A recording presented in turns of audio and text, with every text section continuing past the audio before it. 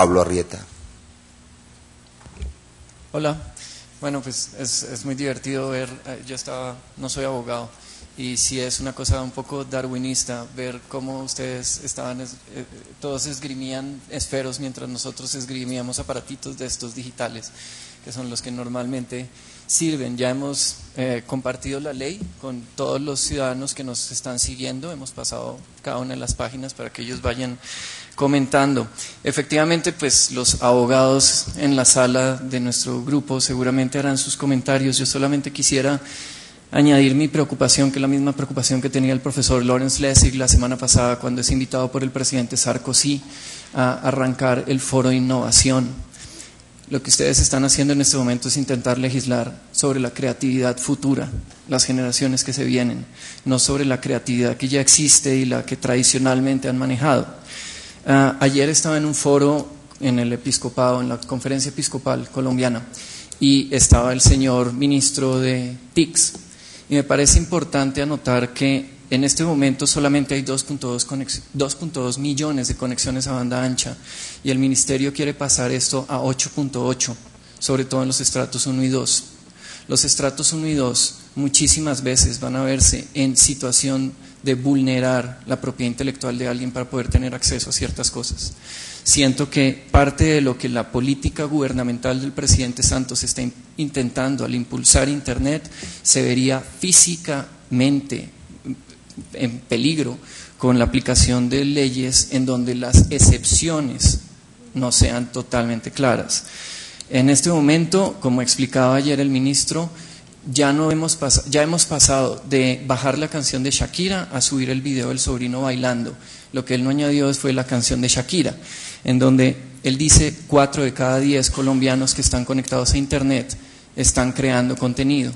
Ese tipo de situaciones son las que toca tener en cuenta. Lessig la semana pasada recordaba algo, las innovaciones que representan Skype, Google eh, y cualquier otra cantidad de empresas, Facebook, que están realmente liderando Internet, tienen tres elementos de creación de innovación. Uno, fueron creados por chicos, dos, dropouts universitarios y tres, outsiders. Son personas que no son norteamericanas y que no entienden de las legislaciones normalmente. Yo soy uno de ellos, llevo 16 años trabajando en Internet y créanme que no podría decir nada por ahora hasta poder leer el texto que tenemos enfrente. En este momento, para otro detalle que mostraba ayer el ministro de Telecomunicaciones, el 96% de las empresas en Colombia son microempresas, entre una persona y 10. Y de esas 96%, solamente el 7% está conectado a Internet. Y palabras del ministro TIC, porque las personas no le ven sentido utilizar Internet en, de los empresarios. Ellos quieren aumentarlo en el gobierno al 2014 y tener el 50% de los microempresarios metidos. Y muchos de los que van a estar metidos, si quieren realmente generar innovación, van a tener que tener algún tipo de excepciones. Y ese tipo de fair use es el que permite que los tipos como yo, que hemos trabajado desarrollando Internet, podamos seguir adelante. Ahora bien, tanto en los estudios que ha hecho eh, Mintic como en los estudios que yo he visto independientes, muestran que el 95% de los usuarios en Colombia no utilizan Internet porque se sienten que si alguien les enseñara sería mucho mejor. El ministro de TICS ayer dijo, ¿y cómo le vamos a enseñar? Si, por ejemplo, las personas tienen acceso en una zona cebollera a Internet, toca enseñarle a utilizar bien Internet. Y en una zona cebollera, Internet debería ser utilizado para vender más cebolla. Yo veo ese argumento como peligroso y tendiente a ser nazi, porque eso quiere decir que de una zona cebollera no puede venir nuestro nuevo gran escritor colombiano o nuestro nuevo gran poeta o artista o cineasta. Creo que cuando se enseña Internet no se puede trabajar como si esto fuera televisión y toca empezar a entender que se está intentando legislar a chicos escolares que seguramente van a tener ideas muy creativas entre más permisividad y excepciones dentro de estas normas exista. Lo dicho, creo que no tengo comentarios a esto, pero sí quisiera recordarlos porque creo que están las personas que cada vez más representan los intereses de los futuros creadores colombianos. Los presentes ya están. Muchas gracias, Pablo. Quiero además agradecerle sus intervenciones, que como las de muchos aquí presentes nos recuerdan que hay colombianos creativos que están hace rato en el siglo XXI, en los que Colombia puede tener esperanza para fomentar la poiesis, la creación, la generación de nuevos de nuevas iniciativas.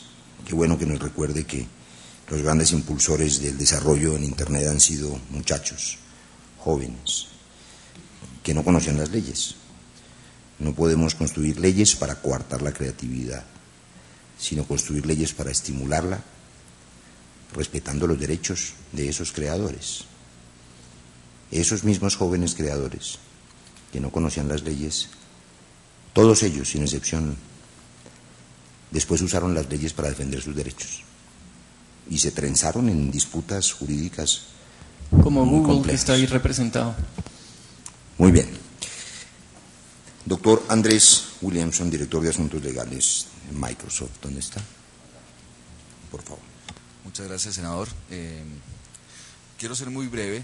Me uno, digamos, a muchos de los comentarios previos que se han hecho en el sentido de que poder comentar un nuevo proyecto que solamente alcanzamos a conocer en los últimos 20 minutos es difícil. Quisiera de todas maneras eh, señalar que pues comparto un poco la visión del gobierno y de la ponencia en el sentido de brindar una protección efectiva y eficaz a los derechos de propiedad intelectual por la vía extrajudicial, como está planteado. Nosotros eh, vemos con muy buenos ojos esa iniciativa, eh, quizás con los matices propios que le han incluido en esta nueva ponencia en donde se le da un manejo de autorregulación o contractual. Quiero analizar un poco más a fondo, digamos, las ventajas de esa iniciativa, aunque la veo con, muy buenos ojos. Y quería solamente referirme a dos temas puntuales del articulado y hacer dos comentarios generales.